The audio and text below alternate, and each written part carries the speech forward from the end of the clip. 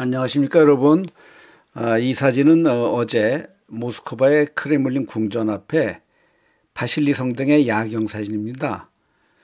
어, 언제나 봐도 그 붉은 광장 근처에서 보이는 그 야경은 참으로 환상적입니다. 이 붉은 광장 옆에 있는 그 세계 최대의 군 백화점도 그 안에 들어가 보시면 참으로 넓으면서도 이런 곳이 과거 150년 전에 건축된 건물로는 믿을 수 없을 정도로 화려하고 웅장합니다. 구매 들어가셔도 그냥 눈여기만 하고 구경만 하시지 말고 그 안에 있는 그 안에서 영업하고 있는 카페나 찻집에서 케이크 한 조각에다가 홍차를 마셔도 러시아의 그 진수를 맛보실 수 있습니다. 그 안에 물건들이 여러 가지 또 있습니다. 러시아 특산품도 있고. 아마 물건 쇼핑하기도 상당히 그 좋을 겁니다. 이번에 3월 30일 날 러시아 학당에서는 어, 구독자 여러분들을 모시고 모스크바 그리고 상페츠르부르크 그 다음에 벨라루스의 민스크를 10박 일정으로 여행을 진행할 예정입니다. 벨라루스는 아마 한국에서 처음으로 시행하는 여행일 겁니다. 물론 영상으로 이번 여행 과정을 벨 통신으로 여러분들에게 모두 올릴 예정입니다. 붉은 광장에서 조금만 더 걸어가시면 볼쇼이 발레 테아트가 있습니다. 특히 저녁에 야경을 보시면서 야간 산책하기에 아주 좋은 코스입니다. 아, 그런데 볼쇼이 극장에서는 그 발레 공연은 아주 좋은데 너무나 거기 공연 공연 홀이 넓어서 뒤에 앉아서 보시면 별로 재미가 없습니다. 그런데 가까이 가서 보시려면은 그 좌석들이 비싼 요금을 내야 되고 그래서 사실 볼쇼이 극장에서 보는 발레 공연은 사실 추천하고 싶지 않습니다. 굉장히 비쌉니다, 값도. 그래서 이번에 러시아 학당 여행단은 볼쇼이 발레 공연을 보든지 아니면 발레 일정에 따라서 민스크에서 민스크 발레를 민스크에서는 좀더 아주 가까운 좌석에서 볼 수 있습니다. 요금은 15배 정도 쌀 겁니다. 거의 뭐 만 원 이내에 볼 수 있습니다. 그래서 아주 좋은 그리고 그 발레의 그 수준이 러시아 발레나 아, 모스크바 발레나 민스크 발레나 거의 같은 수준입니다. 아 그리고 지금 이 보시는 것은 호박입니다. 우리나라에서는 옛날부터 부잣집 할머니나 할아버지 그 한복 단추에는 호박을 한두 개씩 달았습니다. 이 부의 상징이었는데 호박은 옛날부터 우리나라에서도 마찬가지로 건강과 장수를 상징하는 보석입니다.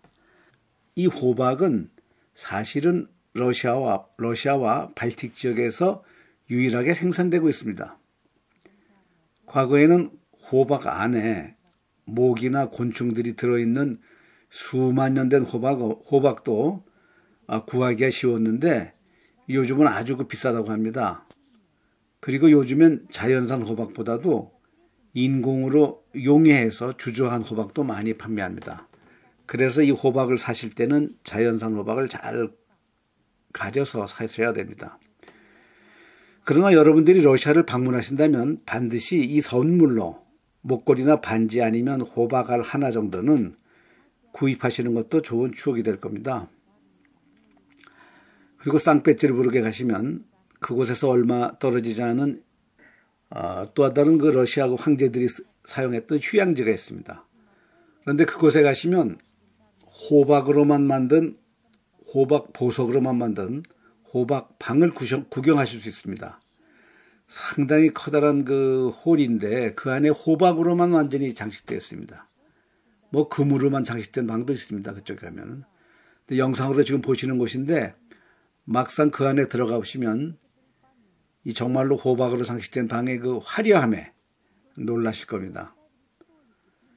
어, 이런 곳은 이제 러시아 학당 여행단 분들은 반드시 구경할 예정입니다. 그리고 호박과 어울려서 반드시 러시아에 오셔서 맛보아야 할 술이 있습니다. 술보다 리코르라고 하는데 약술입니다.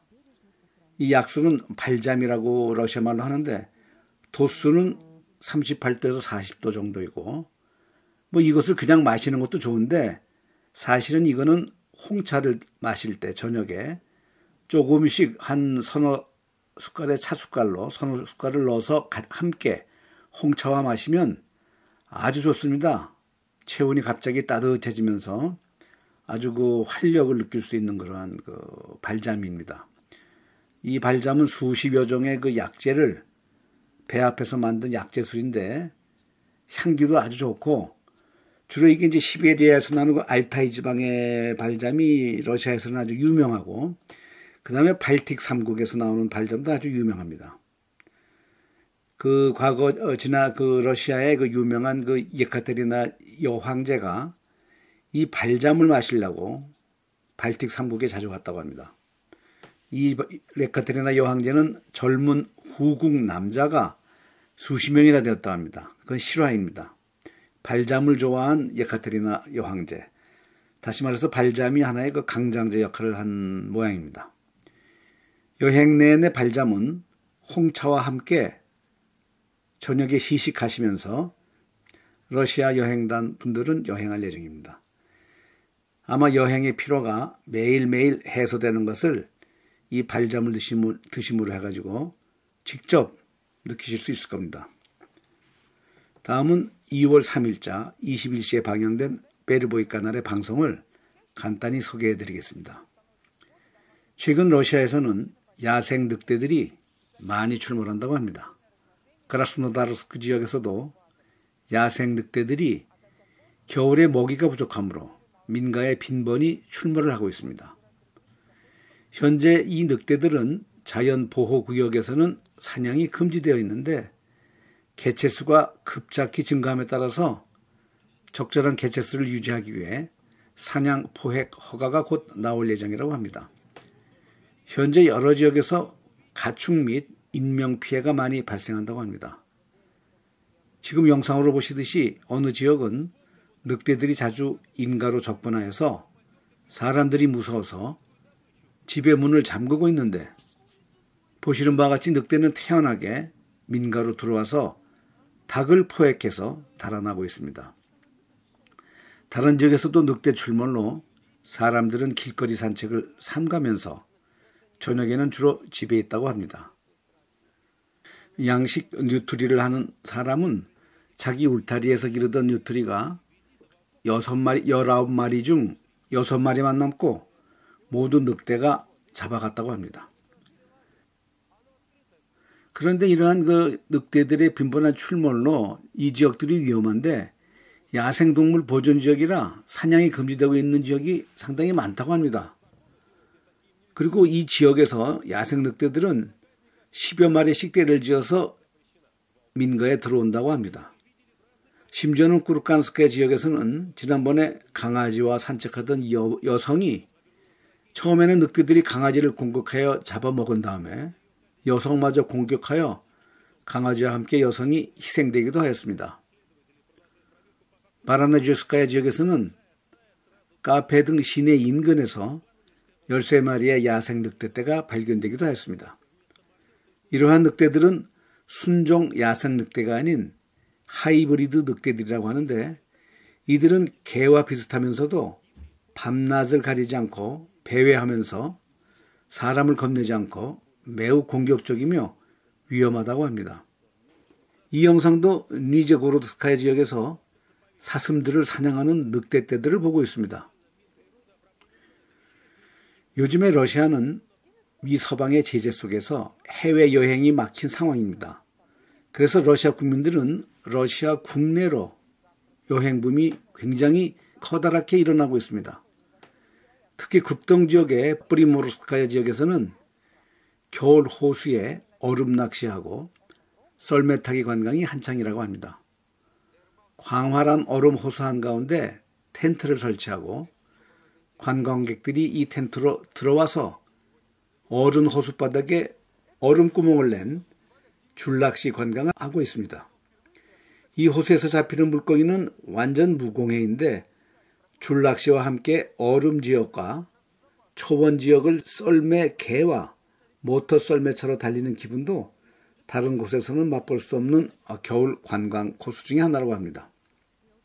브리모로, 하바로브스크, 깜차트카, 브라디보스톡에서 자기네가 잡은 호수 물고기를 즉석 구이로 소금하고 밀가루만 첨가해서 프라이팬이나 숯불에 구워 먹는데 아주 순수한 고기 맛이 일품이라고 합니다.